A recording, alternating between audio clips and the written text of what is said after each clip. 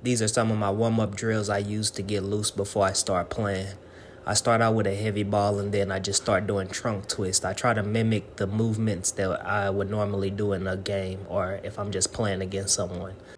I like using this ball to get warmed up just because it gets your body loose and you can stretch with it and you can just become more mobile as you're doing the moves. I probably warm up with this ball for about 15 to 20 minutes.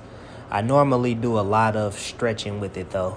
I notice when I'm doing a lot, a lot of stretching, and then when I get on the court, it makes it easier for me to move. If you study your game, then you can come up with different type of movements to use with the ball.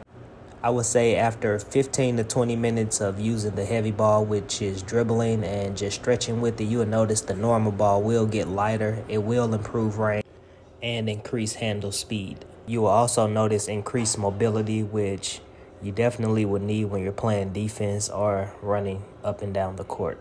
I also use it for a post game workout when your body's really, really sore and starting to tighten up from when you just got done playing. I would say experiment with different pounds. That one, the one that I was using was about an eight pound ball. Anyway, if you need more workout tips, make sure you guys hit that subscribe button.